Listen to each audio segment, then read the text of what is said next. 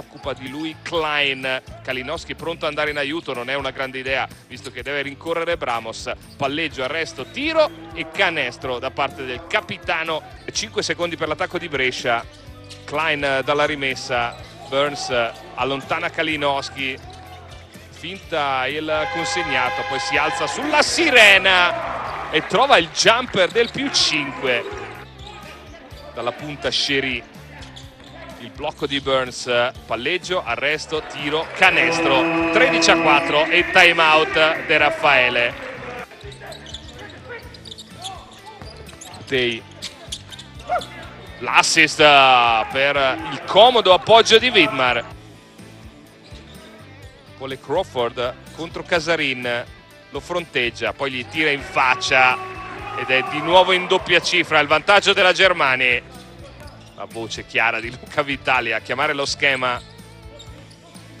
Kalinowski semina Bramos che poi prova a rimontare ma senza successo.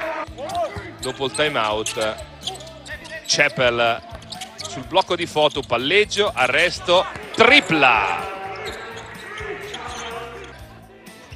Bramos che in precedenza ha sbagliato un altro libero Parillo abbandonato dalla difesa tutti in piedi in panchina. Prova a attaccare Burns torna indietro rimane addirittura contro Ristic e allora c'è un vantaggio da qualche altra parte. Day spalla canestro contro Sherry.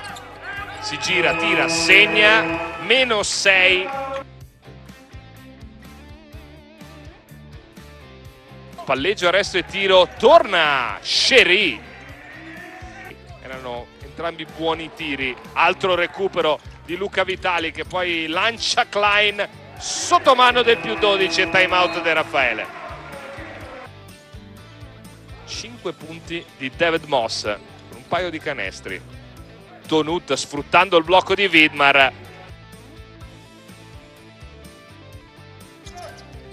Anticipato Kalinowski il pallone va da Vitali che prende, spara, segna più 11 Germani. Contropiede per Venezia che ancora una volta col vantaggio si muove relativamente bene lo fa Cepel leggendo il rimorchio di Fotu.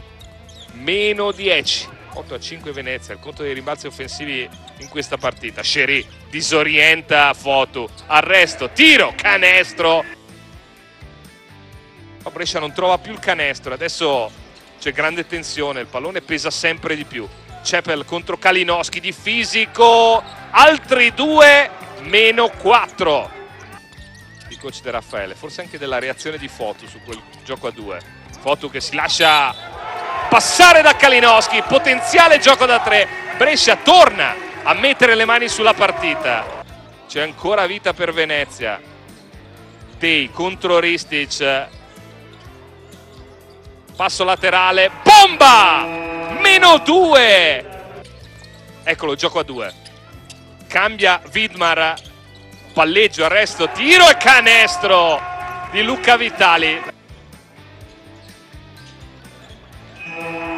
Lo sbaglia male. Austin Day vince Brescia